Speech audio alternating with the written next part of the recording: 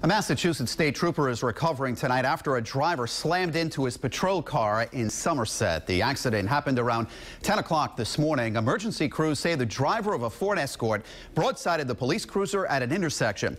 Trooper was taken to the hospital and is recovering from minor injuries. The driver of the other car was not hurt. The crash is still under investigation.